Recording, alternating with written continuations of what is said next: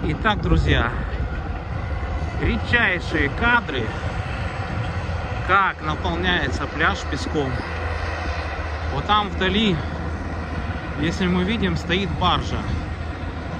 Это, эта баржа качает песок и подают по трубе вот туда, где стоит вот этот вот экскаватор. И там получается так, как мне рабочие объяснили, 60% песка, 40% воды. И вот они вот так вот накидывают на пляж. Это делается очень быстро. И посмотрите, какой получается пляж. Широкий.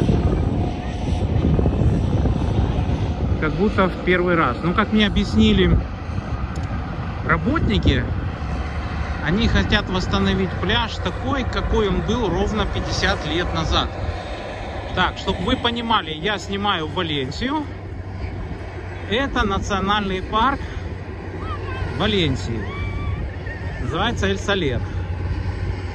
Вот, так что вот такая интересная съемка у меня сегодня произошла. Я не ожидал это увидеть, но мне так сегодня повезло. Э, я еще встретил инженера, который контролирует эту работу, и он мне все объяснил. Так что, друзья, съемка действительно эксклюзивная. Вот, видите? Сейчас я попробую увеличить. И вот что получается. Вот он идет, вода с песком, и он накидывается на пляж. Работа очень быстрая, но и, кстати, фирма это делает голландская. Не знаю, как там будет слышно с ветром, но Постарался я вам все передать, всю вот эту работу. Очень интересно, конечно. Всего хорошего. До новых встреч.